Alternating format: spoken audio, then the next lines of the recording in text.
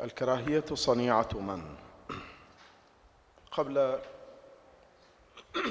قبل أن أعرج على هذه النقطة أود الإشارة إلى أن المعارضة متقدمة دائما على السلطة في وضع المبادرات التي تتصل دائما ب يعني التجاوب مع الحركة الدولية أو الحركة الإنسانية الدولية وتحاول أن برغم عدم وجود أدواتها التشريعية تحاول أن آه، تنشر أو أن تثير هذه المبادئ الإنسانية الدولية برغم كونها في خارج أطار المنظومة التشريعية. المادة عشرين الفقرة الثانية من العهد الدولي تقول آه، تحظر بالقانون أية دعوة إلى الكراهية القومية أو العنصرية أو الدينية وتشكل تحريضا على التمييز أو العداوة والعنف. البحرين صدقت صادقت على العهد الدولي للحقوق المدنية والسياسية في العام 2006 ويعتبر هذا العهد جزءا من تشريعها الداخلي سواء وائمت قانونها المحلي أو لم توائمه هي مسؤولة عن الالتزام به.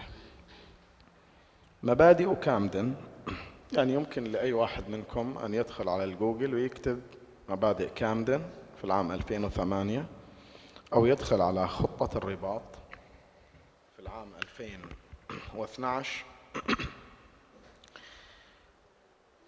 هنا أتي إلى هذه النقطة. ما الذي دعا السلطة لأن تغذي الكراهية؟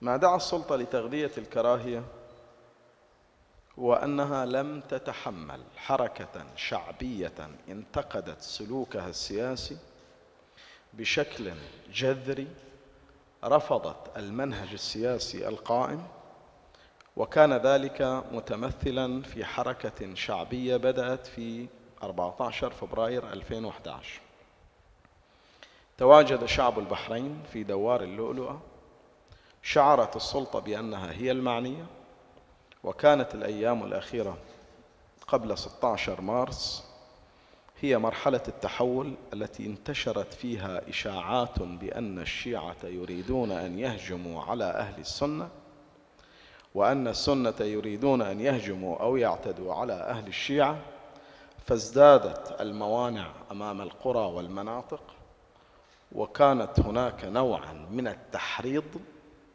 الذي سكتت السلطة عنه بتاتا.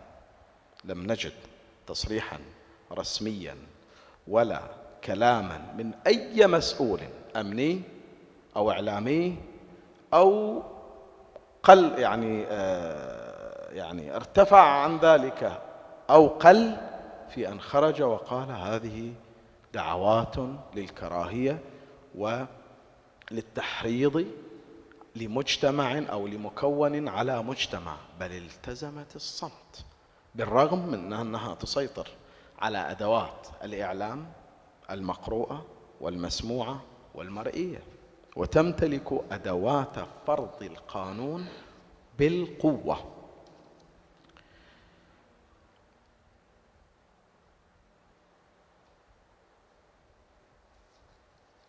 في بندها التاسع وهي خطة الرباط. يمكنكم أن تدخلوا على الجوجل وتكتبوا خطة الرباط. صدرت في العام 2012 تتحدث عن اعتماد المعيار ذي الستة أجزاء لتحديد التحريض المحظور جنائيا. رقم واحد السياق. سياق الكلام. رقم اثنين المتكلم. من الذي يتكلم؟ الثلاثة ثلاثة النية. أربعة المحتوى أو الشكل في الخطاب. خمسة مدى الخطاب حد الخطاب. ستة رجحان وقوع التمييز أو العداوة أو العنف. وجدنا أن السلطة ناجحة تماما في جرجرة من تريد أن تجرجره لاتهامه بالتحريض على كراهية النظام. ولم نجد قضية واحدة. جرجر كبير أو صغير نائب أو خطيب غيره أو ذلك وهو يشتم بكل صراحة ووضوح ويسمي أبناء القردة والخنازير الخونه المجرمون الكذا لم يجرجروه.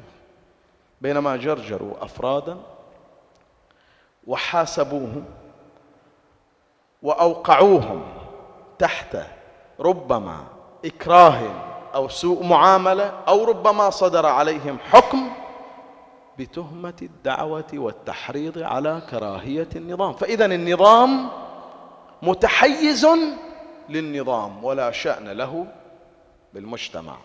وهنا نعود ما من يعني الكراهية صنيعة من؟ عندما يتحدث الحقوقي عن أي جريمة أو انتهاك تكشف جريمة ارتكبها النظام هذا ليس تحريض على كراهية النظام. هذا هو هنا نجد الخط الرفيع أو الخيط الدقيق جدا بين مساحة الكراهية وبين مسؤولية كشف الانتهاكات. اذا إذا تحدث الحقوقي عن الجريمة التي ربما تعود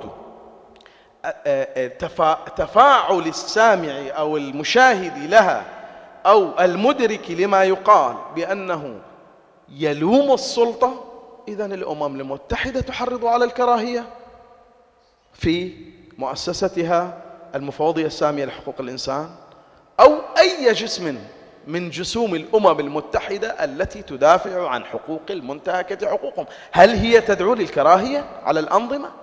هل منظمات حقوق الإنسان التي لا تنطلق من أجندة سياسية ولا من علاقات مع ولا ضد الأنظمة هل هذه تحرض على الانظمه ذكر أخي السيد شرف بأن هدم ثمان وثلاثون مس ثمان وثلاثون مسجدا هذا كاف للتحريض على كراهية النظام قام به النظام. لا يدعو لا لا لا يتطلب أن أحد يقول أنه تعال واكره هذا النظام. بحد الفعل وذات الفعل وأثر الفعل هو تحريض على الذات. من الذي قام بهذا؟ أنت تحرض على كراهية الفاعل. اذا الفاعل يحرض على كراهية نفسه. هنا إذا تحر إذا تحك إذا تكلم حقوقيا عن انتهاكات هو لا يحرض عن كراهية على كراهية النظام. هو يقوم وهنا أيضا نعود لمبادئ كامدن وخطة الرياض. تتحدث عن أن الحديث عن الانتهاكات لا يعني إطلاقا التحريض وإنما يعتبر الحريات هي واحدة من من دواعي التجنيب الكراهية. لأنني حتى أعبر عن أن هذه الجريمة قد حصلت. أنا أساهم في ألا تتكرر وألا تزداد لئلا تقع الكراهية بأعمق مما ربما وقعت عليه. عندما يتحدث سياسيا عن نقده لمنهجية نظام سياسي من حقه أن يتحدث ويرفض ويصف المرفوض ويصف المطلوب. هذا لا يعني دعوة لكراهية أحد سواء لأتباع النظام أو للنظام نفسه. هذا يعني أنه يتطلع لتطوير تنموي سياسي حضاري لما يتطلع إليه أو لما يمثله من آه، تركيب مجتمعي. حينما تتحدث صحيفة أو وكالة أنباء أو قناة فضائية عن حدث قام به جهة ضد جهة هي لا تحرض وإنما هي تكشف وهذا يدور في حدود تداول المعلومة وكشف الحقيقة. هذا جزء. إن كنت تعتقد أن كشف جريمتك هو تحريض عليك لما إذا ارتكبتها من الأساس؟ هنا أعتقد أنني أحمل السلطة كامل المسؤولية عن صنيعة الكراهية في مجتمعنا. وهنا أقول دليلي في ذلك أنه يوم أن جاءت لجنة تقصي الحقائق ودخلت البحرين. كل المعذبين وكل القوات الأمنية والحراس في السجون تغير سلوكهم 180 درجة لأن هناك أمرا رسميا صدر لهم بأن لا تعتدوا وغيروا منهجكم إلى اليوم هي مسؤولية من؟ مسؤولية النظام فقط ننتظر أمرا يصدر ممن يسمع أمره فيتغير 180 درجة سلوك هؤلاء المنتسبين لأنه عسكري. يقول لك أنا أفعل ما أؤمر به. هل تعتقدون أن منتسبا أمنيا يخالف الأوامر ويبقى مكانه؟ سمعت عن شرطيا تم الحكم عليه. وهو الآن في السجن. وقالوا لي بأنه بسبب التعذيب. وأنا أصدق. لكن تعرفون لماذا هو في السجن؟ لأنه عذب وهو يصور تعذيبه ونشر فيلم التعذيب فسجنه لأنه فضحهم في أن في المراكز هناك تعذيب. ليس لأنه عذب. هل تعلمون أن وحدة التحقيق الخاصة توصلت في تقريرها بأن هناك ممن أجري عليهم فحصا من قبل الطبيب الخاص بأن لديهم آثار وصلت إلى ثلاثين بالمئة وإلى خمسين بالمئة من التعذيب. هذه وحدة التحقيق الخاصة.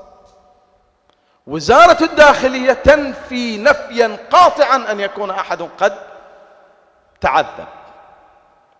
أنا لا أعرف.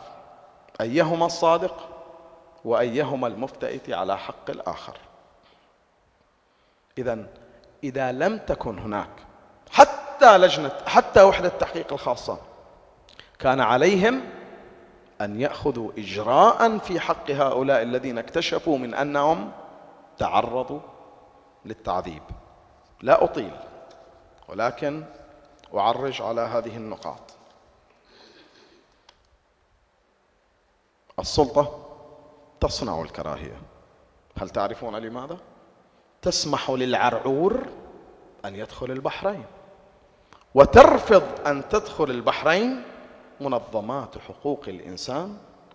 تقدم طلبا. تحاول أن تصل. تضع زيارتها لمدة خمسة أيام. بينما العرعور الذي يشتم طائفة ويشبههم بالخنازير وبالأنجاس وبما إلى ذلك مرحبا بك. من الذي سمح للعرعور بالدخول؟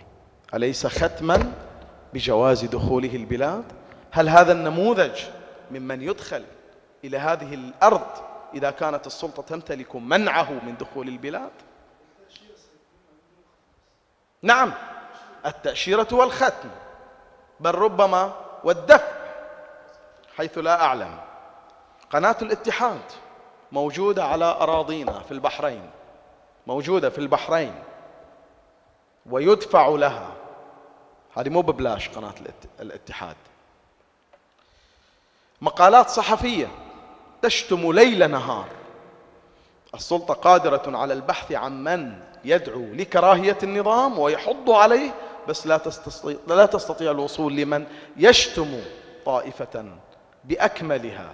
أو أفرادا أو مقدسات. وزراء نفوا هدم المساجد وتقرير لجنة تقصي الحقائق أثبت ذلك. واليوم السلطة تقول نحن سنبني المساجد.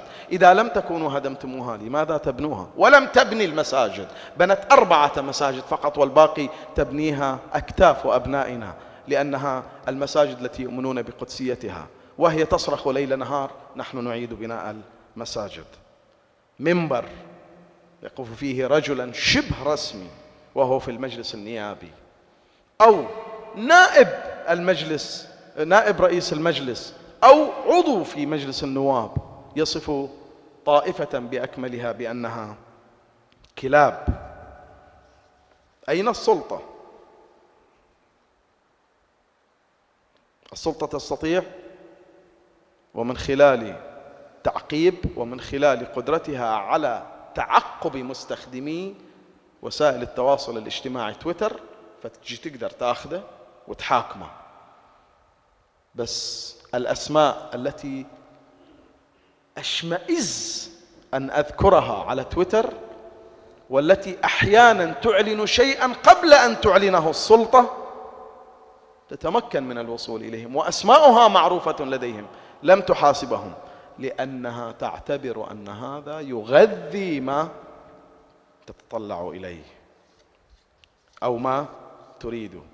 نعم. صنيعة السلطات. لأن السلطة كررت منذ البداية بأن مجتمع البحرين فيه مشكلة معقدة. بين مكونين وأخرجت نفسها عن المشكلة.